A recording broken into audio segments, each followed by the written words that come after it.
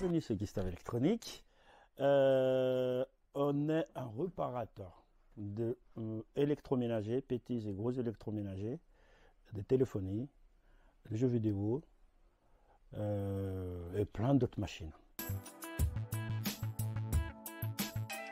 On peut tout réparer, euh, ça dépend des pièces détachées.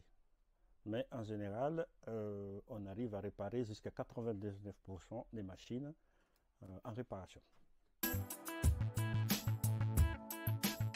C'est de réparer euh, tout ce qui peut être réparable. On est là, euh, ça veut dire qu'on est euh, là pour inciter les gens à réparer les machines, donner une seconde vie à des machines, qui est de l'envoyer à la poubelle deux fois pour pas grand chose. C'est-à-dire que euh, on peut aller jusqu'à 78% des machines qu'on envoie au déchetterie, c'est des machines qui sont réparables, qui ont encore de durée de vie euh, encore longtemps. Un bon réparateur, c'est un technicien qui n'a pas peur de réparer toutes les machines.